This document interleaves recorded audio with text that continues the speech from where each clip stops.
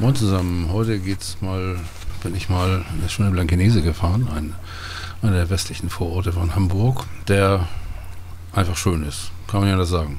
Also gefällt mir sehr gut. Das eigentliche Thema heute ist aber nicht Blankenese, sondern diese Teile hier am Ufer.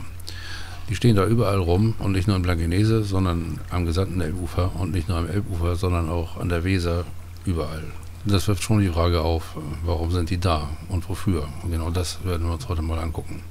Außerdem sieht ihr auch nichts in meinen Videos ohne ein Schiff. Aber ein schönes Schiff dabei ist ein etwas älteres Modell, 1914 schon gebaut in Brandenburg an der Havel. Ist nur 60 Meter lang und äh, 6,40 Meter breit, also war, als er gebaut wurde. Aber es passt genau zu diesem Video. Okay, ich muss zugeben, dass Uwe nicht mehr in Bestform ist, da haben wir ihn. Um unser heutiges Video zu illustrieren, ist es aber allemal ausreichend. So, also, los geht's. Kleiner Disclaimer dazu, das hier ersetzt keinerlei professionelle Unterweisung äh, in einer Yachtschule, sondern es ist einfach nur, um mal kurz zu erklären, worum es eigentlich geht.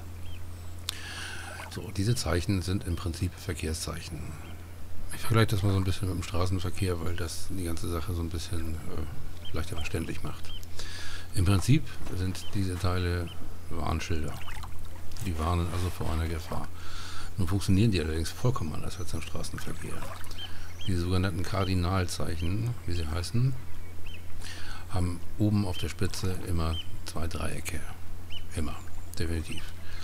So, nur dadurch, dass da immer zwei von diesen Dreiecken sind, kann man die verschieden anordnen. Zum Beispiel Spitze zu Spitze oder stumpfe Seite zu stumpfe Seite oder äh, beide Spitzen nach unten, beide nach oben je nachdem, und um zu verstehen, was das dann für einen Sinn ergibt, müssen wir uns erstmal die grundsätzliche Funktionsweise angucken. Und zwar nicht dieser Zeichen speziell, sondern äh, das ist so eine Sache, die auf See ein bisschen anders läuft als im Straßenverkehr. Wenn ihr im Straßenverkehr auf eine Stelle zufahrt, wo, wo irgendwas gewarnt wird, Baustelle oder so, dann kommt ihr da angefahren und dann ist hinter dem Schild meinetwegen die Baustelle oder der Zebrastreifen oder oder oder. Aber es ist immer so, wenn man ankommt, dann ist das Zeichen vor der Gefahr, vor dem, wovor gewarnt wird. Das funktioniert auf dem Wasser nicht gut, weil man sich meistens aus mehreren Richtungen annähern kann zum Beispiel. Also macht man das so, dass man sagt, wir haben diese Kardinalzeichen in vier verschiedenen Geschmacksrichtungen, Norden, Süden, Westen, Osten. Und jeweils am entsprechenden Rand der Gefahr steht dann so ein Zeichen. Gucken wir uns das mal auf der Seekarte an. Da haben wir also unseren Uwe in der Seekarte eingezeichnet und da drin steckt dieser Spieß mit zwei Dreiecken, die jeweils nach unten zeigen. Wenn die beide nach unten zeigen, dann heißt das, das ist das südliche Ende einer Gefahr. So, um das zu interpretieren, muss natürlich wissen, wo Norden ist. Auf einer Karte ist das immer oben. Und wenn man gar nicht weiß, wo Norden ist, dann muss man sich halt einen Kompass zur Hand nehmen. Aber was wir hier auf jeden Fall sehen ist, das Zeichen steht am südlichen Ende der Gefahr, also müssen wir das noch weiter südlich passieren und dann kann uns nichts passieren. Links und rechts davon äh, diese Striche da und äh, da sind auch nochmal wieder diese Dreiecke. Das sind sogenannte Buhnen, also da ragen Steine aufgeschichtet ins Wasser. Und diese Zeichen stehen am Ende der Buhne. Und ebenso wie dieses Wrack müssen die dann südlich passiert werden. Dann kann auch nichts schiefgehen. Wenn man da nördlich dran vorbei rauscht, dann kracht's. Ähm, so.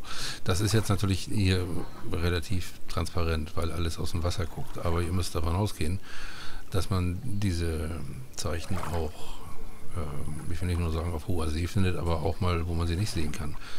Bei Hochwasser ist von der Buhne nichts zu sehen, außer dieses Zeichen.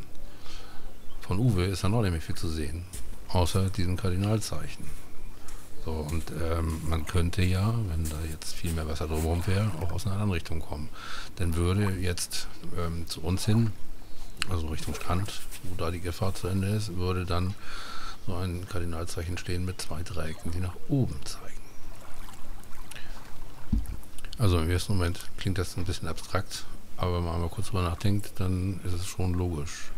Ihr müsst euch, wie gesagt, nur vorstellen, da ist nichts außer diesem Zeichen. Und dann müsst ihr noch wissen, wo Norden ist, aus welcher Richtung ihr euch annähert und dann wird das Ganze transparent. Als Autofahrer wird man sich jetzt denken, oh, äh, was ist das denn alles? Viel zu bedenken. Ja und nein. Wenn man gut vorbereitet ist, kommt so ein Schild nicht überraschend. Das ist die eine Sache. und man weiß eigentlich prinzipiell sowieso, in welche Richtung man fährt, also wie viel Grad auf dem Kompass und wo Norden ist, sollte man zumindest wissen. Und äh, dann ist das Ganze auch relativ easy. So, dann lassen wir mal kurz einen Moment sacken und äh, gucken uns an, wieso Uwe eigentlich diese merkwürdige Parkposition ähm, erreicht hat. Ich habe dazu keinen Untersuchungsbericht gefunden. Insofern äh, kann ich nur das wiedergeben, was man sich allgemein so zurecht googeln kann. Folgendes ist passiert. Auf der Elbe war Schiedwetter, Nebel, und zwar wirklich dicker Nebel. Und ähm, Nebel auf dem Wasser ist schon ein Problem, auch anders als im Straßenverkehr, äh, weil die Reaktionszeiten halt viel, viel länger sind. Also wenn man ähm, beim Auto irgendwie sieht, da kommt was, dann kann man mal schnell auf die Bremse steigen. Das geht mit dem Schiff nicht, egal wie groß. So, was da passiert ist, ähm, es fuhr ein Frachtschiff die Elbe runter, es kam ein anderes Frachtschiff die Elbe rauf. Das Frachtschiff, das die Elbe raufkam, hat den, der die Elbe runtergefahren ist und gerade Uwe überholte, gerammt. Dadurch ist er abgelenkt worden von seinem Kurs und einfach quer über Uwe rübergefahren.